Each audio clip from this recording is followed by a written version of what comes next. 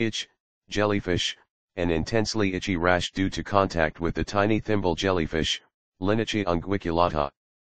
These jellyfish are common between March and August in the waters off of Florida and in the Gulf of Mexico and the Caribbean Sea.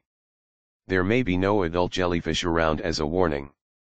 The jellyfish larvae look like mere specks of finely ground pepper and can evoke the same response. The reaction tends to start 4 to 24 hours after exposure to the jellyfish.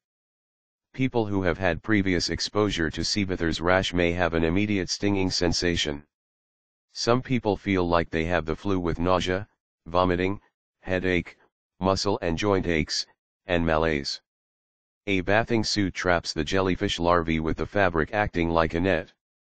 The best way to prevent stings is clearly to stay out of the water. Anyone who has had a previous episode of seabather's itch is advised to not go in the water. If one goes in the water, one can wear clothes such as a wetsuit that provide a protective barrier. Careful washing of swimwear after taking a dip is advisable.